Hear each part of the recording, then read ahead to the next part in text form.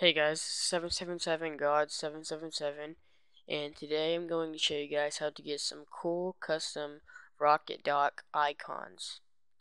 Alright, so what you're going to do is just open up your web browser. I'm using Mozilla Firefox. And you're going to go up here or you can go down to Google and you're just going to type in rocketdock.com and once you're at rocketdock.com go over here to get add-ons. Once you're at this right here, you can you go to icons and you can either type in the icon you want or you can go to ratings, popular, comments, newest, or downloads.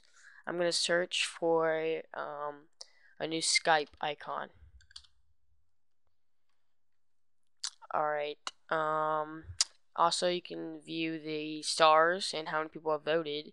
So if you see a lot of votes and it's all five stars and it's normally good, I'm just going to go ahead and click this Skype icon. And you're just going to go down here to where it says download file, then click download file. It's going to be a zip file, so you need to have WinRAR.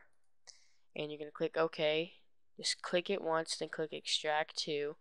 And you're going to go to your Rocket Dock file. I've moved mine from program files, so it's just right after my C drive but you should go to your program files and find it.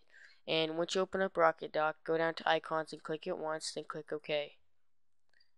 Now exit out of that and go to go to your Rocket Dock and find the icon that you want to um, change the uh, find change the icon for, and go to icon settings. It should bring you up to this thing right here. So just find the icon and um, it's right here. You just click it once. You can preview it and the bigger version are here. Then you just click OK. And that's it. You have your new Skype icon.